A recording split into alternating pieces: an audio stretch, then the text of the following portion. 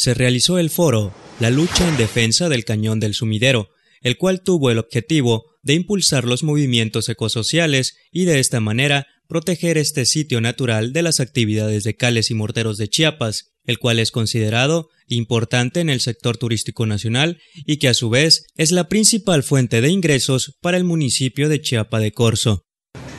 El cañón del sumidero es un importante recurso a nivel nacional. Es también importante la producción de la calera. La cal que se produce ahí es de muy buena calidad. Es una fuente de trabajo.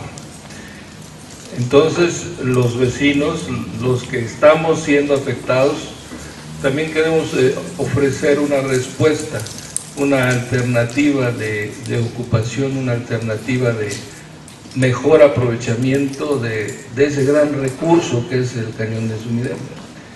Si continúa eh, la actividad de la empresa, lo que va a pasar es que este recurso, como ya lo estamos viendo, pues va a, sufrir algún deterioro y, es probable que eh, se, pueda tener una afectación importante, como sucedió en, la comunidad Juan del Grijalva. No tenemos este, la seguridad de que, así, sea, pero el estudio de la universidad sí da eh, elementos para estimar que algo va a pasar. Este espacio ciudadano se realizó en la Escuela Secundaria Federal José Emilio Grajales, la cual se encuentra en un punto medio de esta localidad y que sirvió para que habitantes de diferentes zonas del estado analizaran las afectaciones ecológicas, de salud y de seguridad de todos los chapacorseños.